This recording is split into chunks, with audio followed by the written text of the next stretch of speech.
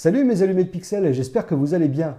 Dans cet épisode, je vous propose le second volet dédié à l'autofocus. Après avoir vu ensemble comment maîtriser les modes de mise au point, nous allons nous pencher cette fois-ci sur une autre chose extrêmement importante, les modes de zone AF.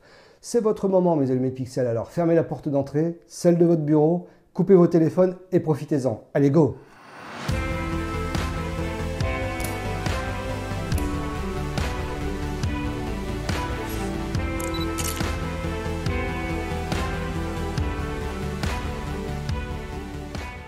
Dans l'épisode dédié au mode de mise au point, vous aurez compris que selon le mode choisi, AFS, AFC ou MF, manuel focus, vous réglez tel ou tel mode si votre modèle bouge ou non.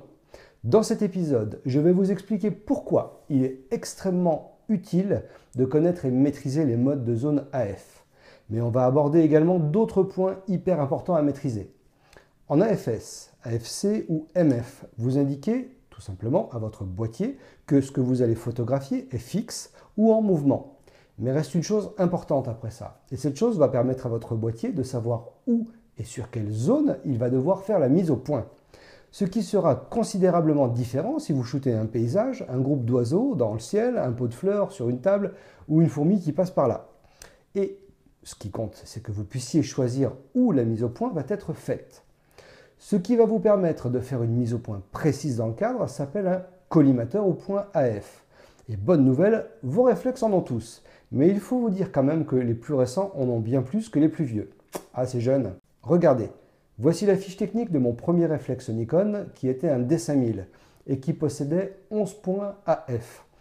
Voici de gauche à droite les fiches techniques des Nikon D850, Z6 et Z7 vous remarquez donc l'augmentation assez spectaculaire des points AF en passant du D850 à gauche et ses 153 points AF, du Z6 au milieu et de ses 273 points AF, et du Z7 donc sur la droite et ses 493 points AF.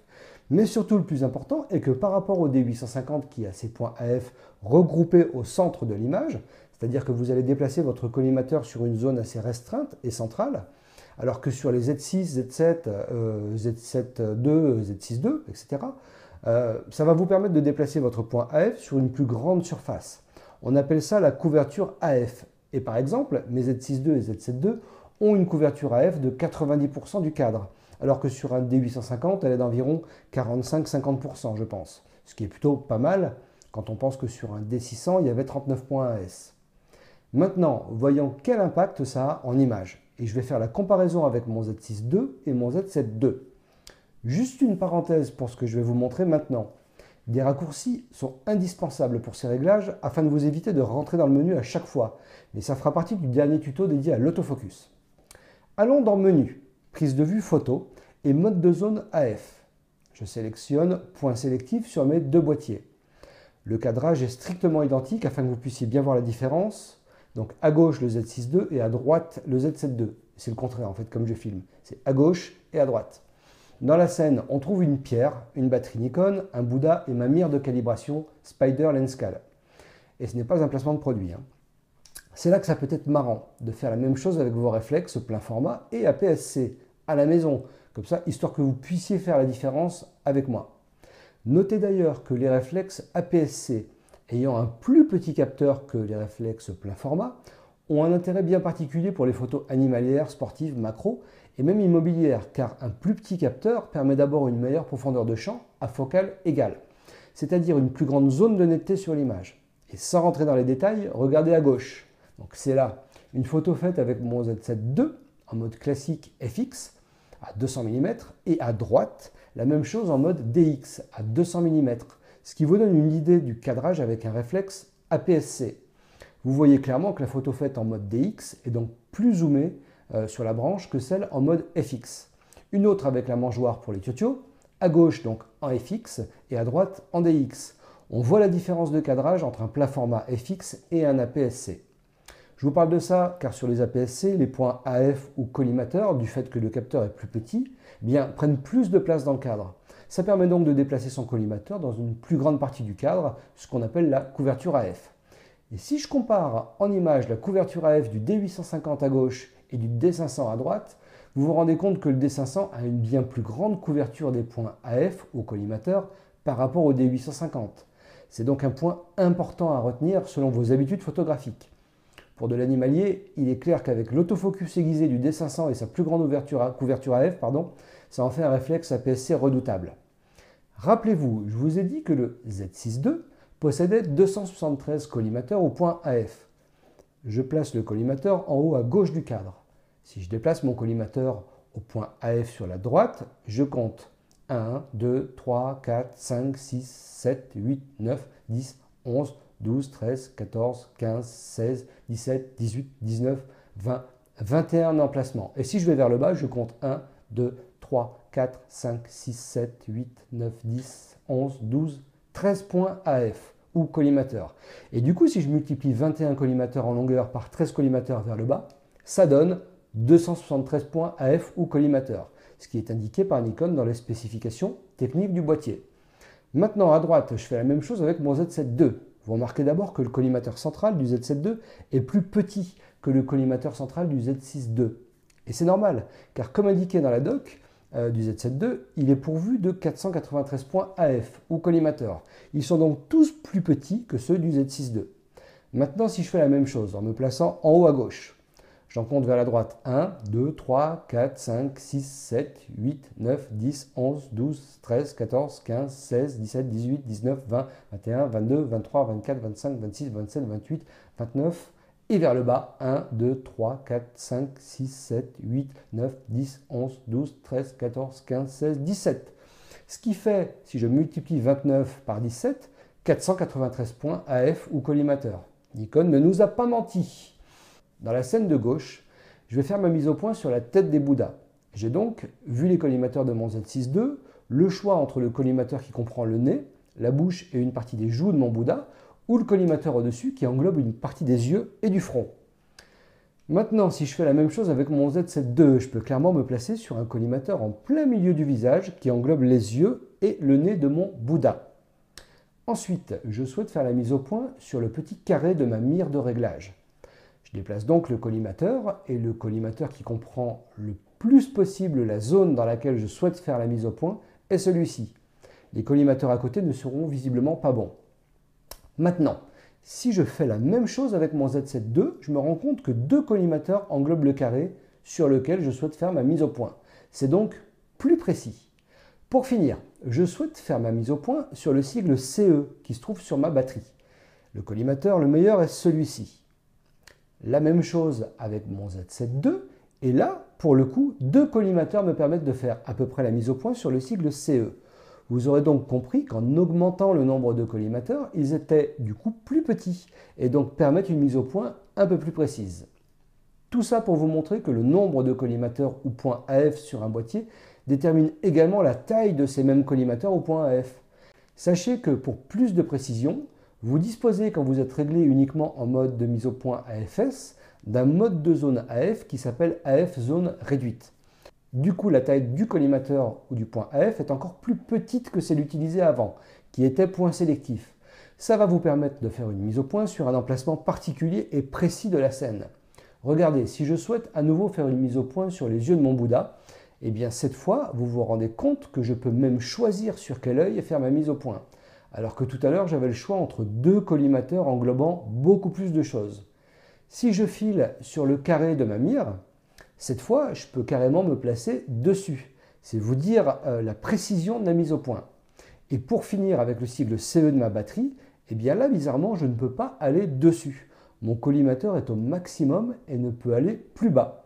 Alors si je me replace en point sélectif avec un collimateur plus gros, je viens de nouveau englober le sigle CE. Alors je trouve ça étonnant et du coup en live je vais essayer de faire ma mise au point sur le texte Spider écrit sur ma mire. Et là, bah, bien c'est pareil en fait, je ne peux pas aller dessus. Et je suis au maximum du côté gauche en AF zone réduite. Il est clair qu'en mode de zone AF ou zone réduite, on ne peut plus se déplacer sur un collimateur qui comprend les 90% du cadre, mais plutôt 75-80%. Je pose la question à mon contact chez Nikon et si j'ai une réponse avant la fin du tournage de ce tuto, j'y répondrai, sinon j'en parlerai dans un message sous la vidéo. Alors mes cocos, avant que tout le monde dorme, on va faire le tour de ces fameux modes de zone AF. Et vous allez voir en live comment ils se comportent et pourquoi il faut en choisir un plutôt que l'autre, selon une situation donnée. Le premier de la liste est celui vu juste à l'instant et il s'appelle AF zone réduite. Le seul mode de mise au point qui vous permette d'activer l'AF zone réduite est AFS. En AFC, ce n'est pas possible. Comme vous pouvez le constater, il permet une mise au point très précise sur les objets situés dans cette scène. Là, je souhaite faire la mise au point euh, sur le bouton de stabilisation de mon objectif et ça ne pose aucun souci. C'est vraiment très précis. Si je souhaite faire la map sur la marque de la pile, c'est pareil. Même système sur ma mire en plaçant le collimateur sur le 6, comme ceci. La mise au point est parfaite. Et c'est la même chose si je fais la mise au point sur le 4 qui se trouve en haut. Voilà, avec un petit zoom histoire de vérifier la précision de la mise au point. Votre boîtier fait donc la mise au point où vous placez le point AF. Bref, vous aurez compris que ce mode de zone AF est extrêmement précis, mais que c'est également plus long de se rendre sur un endroit précis. C'est donc un mode à utiliser quand vous avez tout le temps de faire votre mise au point. Si vous l'utilisez pour faire la map sur un truc qui court, ça risque d'être compliqué. Retenez qu'il fonctionne uniquement en AFS et qu'il ne permet pas de jouir des 90% de surface de la scène en termes de déplacement mais d'environ 75-80%. Le point sélectif permet donc la même chose qu'à F-zone réduite, mais avec une précision un peu plus grossière. Vous l'avez vu en exemple tout à l'heure. Ce mode sera principalement utilisé avec les sujets immobiles, car vu la taille du point AF, en essayant de le placer sur un sujet en mouvement, c'est plutôt compliqué. Par contre, comme vous pouvez le voir, il est plus rapide niveau déplacement dans le cadre. Passons au mode de zone AF, zone dynamique, que vous utiliserez conjointement au mode de mise au point AFC, car vous ne le trouverez pas en mode AFS. Dans ce mode, votre Z effectue la mise au point sur le point AF que vous avez sélectionné. Alors, il faut savoir que votre Z effectue la mise au point en se basant sur les informations en provenance des points AF environnants. Je vais vous montrer en image qu'il prend en compte réellement les informations autour du point AF central et comment il réagit. Là, j'ai fait la map sur l'objectif et je vais déplacer le point AF de façon à faire la map sur la batterie. Regardez bien comment réagit l'AF zone dynamique. Il a fait la mise au point sur la batterie avant même que le collimateur central soit sur elle. Il prend donc bien les informations de mise au point au niveau des points AF autour de lui. Regardez, la même chose avec à gauche l'AF point sélectif et à droite l'AF zone dynamique. Vous allez vous rendre compte qu'à gauche, pour que la mise au point soit faite sur la batterie, il faut que le point AF soit sur elle alors qu'à droite, la F-zone dynamique l'aperçoit avant. Et ça, c'est un sacré gain de temps et de rapidité si vous photographiez, par exemple, une voiture de course, un athlète qui court, etc. En gros, ça permet une mise au point rapide sur quelque chose ou quelqu'un qui se déplace. Et le fait qu'il prenne en compte les collimateurs autour vous donne un net avantage euh, afin de rester focus sur le sujet. AF zone large S. Alors là, comme pour la F point sélectif, il fait la mise au point de la même façon, mais cette fois dans une zone plus large, ce qui vous permet du coup de photographier plus facilement des sujets en mouvement sur lesquels la F point sélectif serait trop petit et pas assez englobant. Voyez en vidéo la différence entre la zone large S et le point sélectif. Vous vous rendez compte qu'entre les deux, il n'y a pas photo niveau précision. Là, en zone large S, je place mon point AF sur le 3 de la mire, je zoome pour voir le résultat et je me rends compte que la mise au point est faite un peu plus bas. Il y a un manque de précision dû à la grosseur de la zone euh, large S tout simplement. Alors que si je passe en point AF sélectif, je peux être beaucoup plus précis et en faisant un zoom, la map s'est faite où je le souhaitais sur le 3. En faisant la même chose sur l'objectif et en souhaitant faire la map sur le bouton AF, je me rends compte qu'en zone large S, la mise au point n'est pas bonne. Alors que si je passe en mode zone AF point sélectif et que je fais la même chose, cette fois c'est bon. La mise au point s'est faite exactement où je souhaitais la faire. AF zone large L est exactement la même chose que AF zone large S, sauf que la zone de mise au point est plus large. Et donc, dans mon cas, permet encore moins de précision sur des éléments de ma scène. Par contre, euh, avec une plus grande distance entre moi et le sujet, ça pourrait être parfait. AF, zone large, L, personne. Alors c'est là que ça devient intéressant pour les photographes qui font des photos de portraits. La zone AF, zone large, L, personne, va détecter un visage de l'instant qu'il passera dans cette zone. Si je bouge mon Z de façon à passer sur la trogne de mon frère quand il était gamin, directement le point AF se place sur un œil. En allant sur ce sublime portrait fait par Natsakura, vous vous rendez compte que la mise au point se fait également sur l'œil, sans aucun problème mais vous avez vu qu'il a trouvé l'œil avant même que le visage ne soit entièrement dans la zone large L. Regardez bien la détection, elle est faite alors même que le cadre de la zone AF ne rentre pas encore dans la zone des yeux. C'est donc que dans ce mode, tout comme le mode AF zone dynamique, le Z utilise les points AF autour de la zone large pour faire la détection des visages et des yeux.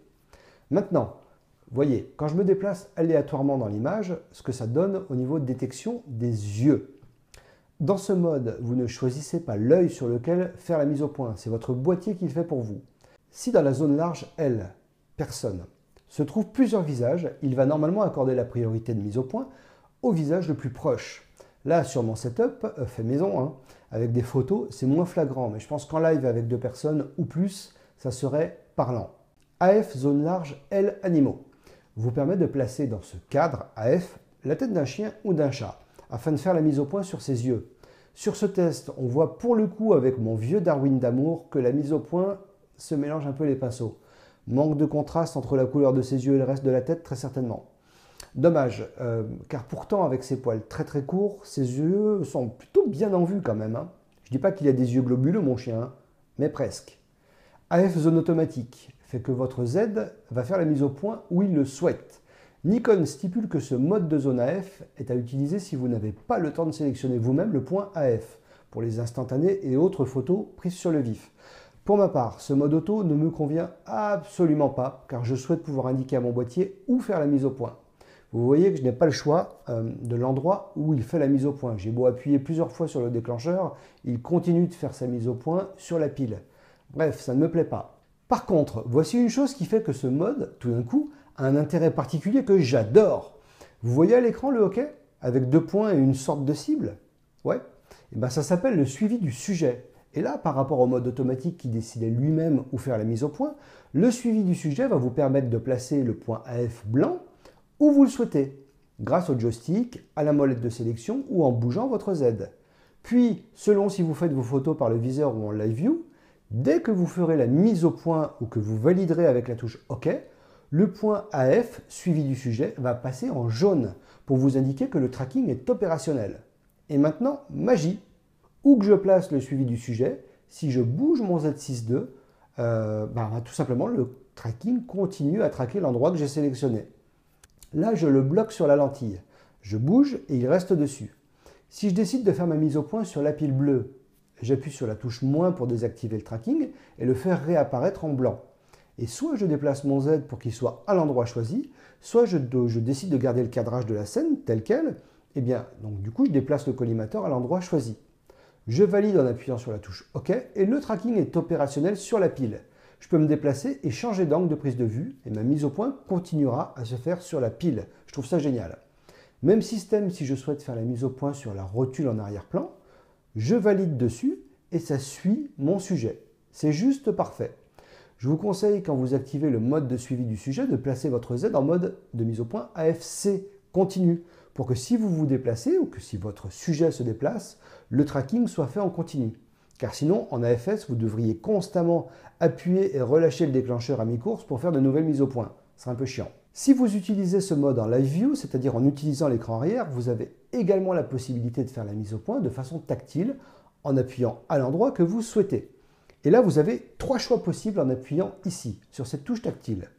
Si j'appuie une première fois, il apparaît sur l'écran tactile « Positionner le point AF », ce qui veut dire que je peux faire ma mise au point n'importe où, juste en posant mon doigt où je le souhaite. Vous remarquez néanmoins que la mise au point ne se fait pas et qu'il faut appuyer sur le déclencheur à mi-course pour qu'elle soit faite. Voilà, je vous montre un petit peu ce que ça donne en faisant des mises au point un petit peu partout dans la scène. Maintenant, si j'appuie une seconde fois sur le bouton tactile, apparaît AF tactile. Et comme vous pouvez le constater, c'est plutôt très précis et rapide. J'avais mis la pile blanche en premier plan pour mettre en défaut l'autofocus, étant donné que le fond est blanc tout comme le sol, mais aucun souci, il fait la mise au point sans rechigner. En appuyant une troisième fois sur le bouton tactile, apparaît AF tactile, déclencheur tactile. Ce qui veut dire que je continue à faire la mise au point en touchant l'écran, mais une fois que la mise au point est faite par votre Z, à l'endroit que vous aurez choisi, une photo va être prise. Là, j'ai plus besoin d'appuyer sur le déclencheur pour faire ma mise au point. Elle se fait directement et la photo se fait à la suite, dès l'instant que je pose mon doigt sur l'écran. Alors, il faut laisser le doigt une seconde hein, pour qu'il prenne une photo, car si vous touchez rapidement l'écran, ça placera juste le point AF où vous l'aurez touché, mais ça ne prendra pas de photo. Voilà ce que ça donne en appuyant rapidement à plusieurs endroits. Je fais plusieurs photos avec différentes mises au point et vraiment, je trouve ça parfait. Vous avez bien compris que par défaut, ce mode automatique, je ne l'aime pas. Mais par contre, dès l'instant que j'utilise le suivi du sujet, bah, j'adore. Pour finir, en allant dans Menu réglage perso puis Commande personnalisée, en sélectionnant FN1 ou FN2, vous allez pouvoir dédier une de ces touches pour le suivi du sujet. Par exemple, moi, dans ma configuration de tous les jours, FN2 est configuré pour le choix des modes de mise au point et mode de zone AF. Et la touche FN1 est dédiée au suivi du sujet. C'est-à-dire que dès l'instant où je suis en mode de zone AF automatique, automatique personne, automatique animaux, en appuyant sur FN1, je fais apparaître la fonction de suivi du sujet, le petit carré blanc. Et pour la désactiver, il suffit de rappuyer sur FN1. C'est super pratique quand vous shootez avec l'œil dans le viseur car vous avez du coup une touche dédiée à cette fonction. Par contre, une fois paramétrée ainsi, cette touche ne servira plus à rien quand vous serez dans d'autres modes de zone AF qui ne dispose pas du suivi du sujet. Ça serait vraiment cool que Nikon permette, dès lors qu'une de ces deux touches soit paramétrée en suivi du sujet, que le boîtier, une fois qu'on passe par exemple en mode AF.sélectif, puisse assigner une autre fonction à cette touche, histoire qu'elle serve à quelque chose. Passons à AF zone automatique personne. Ça va détecter les visages humains dans la scène. Et là, contrairement au mode de zone AF large L, personne qui a été focalisé dans le cadre rouge, Ici, il va détecter les visages et les yeux sur la totalité de la zone AF disponible, soit 90% du cadre de votre Z. Vous voyez qu'il détecte l'œil du modèle et que je peux, en utilisant le joystick ou la molette, aller du côté qu'il m'indique. Ici à droite car il détecte un autre œil. Ça continue sur les yeux de mon petit frère, enfin de mon petit, de mon grand petit frère plutôt. Il détecte également ceux de cette femme pour arriver jusqu'à feu mon beau-père. Et ça, c'est un petit clin d'œil à une personne que j'aimais énormément. La fonction de détection fonctionne parfaitement et pour ceux qui ne sont pas au courant, elle a été mise à jour en version 1.10 il y a euh, quelques jours. Alors, filez faire la mise à jour si ce n'est pas fait parce que les qualités de l'autofocus sont clairement montées d'un niveau après cette mise à jour. Voilà, vous avez donc vu que grâce au petit triangle de chaque côté des yeux détectés, vous pouviez vous déplacer euh, d'un visage à l'autre. Admettons que vous soyez en train de photographier un groupe lors d'un mariage et que les invités regardent quelque chose qui passe derrière vous ou devant eux, et c'est le toutou chéri de la mariée qui passe par là. C'est également un membre de la famille, et vous souhaitez faire une photo de lui rapidement. Alors, plutôt que d'appuyer sur FN2, pour changer de mode de zone AF, de passer en point sélectif ou autre, de cadrer et photographier, je pense que le chien peut avoir pris la poudre d'escampette. Mais si vous maîtrisez votre boîtier, vous savez qu'en mode AF zone automatique personne, vous pouvez aussi utiliser le suivi du sujet. Si vous l'avez configuré comme moi, il vous suffit juste d'appuyer sur la touche FN1 pour faire apparaître le cadre blanc. Vous visez le toutou, le suivi du sujet fait son boulot et vous faites vos photos. En AFC, hein, bien sûr, parce que le chien est en mouvement. Voilà. C'est en maîtrisant son boîtier et en connaissant les réglages possibles que vous ne louperez plus aucune photo importante. AF Zone Automatique Animaux fait la même chose, mais pour les chiens et les chats. Mais pour ma part, même constat que AF zone large, L animaux. C'est pas précis et la détection de l'œil laisse à désirer comme vous pouvez le constater. Nikon a encore une bonne marge de progression à ce niveau et grâce au double processeur X-Speed, j'espère qu'ils rendront tout ça très efficace. Parce que je l'aurais mauvais s'il fallait attendre pour plus de précision pour les animaux, un nouveau mirrorless avec euh, triple processeur X-Speed. Maintenant, quelques petites astuces. Sachez que dans tous les modes de zone AF, à l'exception de AF zone automatique, personnes et animaux, un point s'affiche au centre de votre point AF, dès l'instant que ce dernier se trouve au centre de la vue. Regardez, je suis en mode de zone AF point sélectif, mon carré est vide, car pas au centre.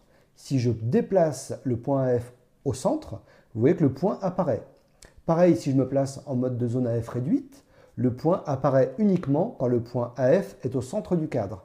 C'est un petit repère afin d'être sûr d'être au centre. Voilà.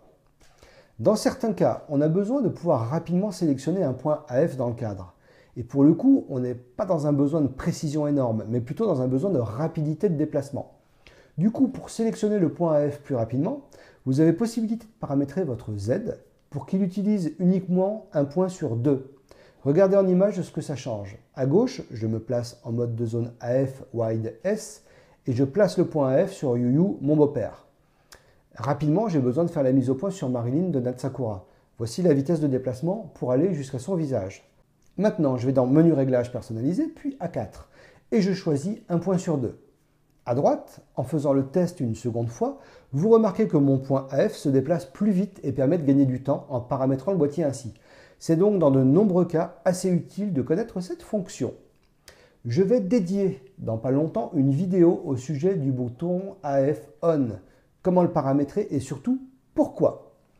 Pour finir, il existe une dernière méthode pour faire la mise au point sur les aides et ça peut se faire soit grâce à votre ordinateur, soit votre tablette ou votre smartphone. Euh, smartphone. Pour finir, il existe une dernière méthode pour faire la mise au point sur les aides et ça peut se faire soit grâce à votre ordinateur, votre tablette ou votre smartphone. Un tuto complet va voir le jour également. Allez mes allumés de pixels, vous pouvez rouvrir la porte de votre bureau, celle de l'entrée, laissez votre téléphone éteint, mais cette fois sortez et shootez. Bye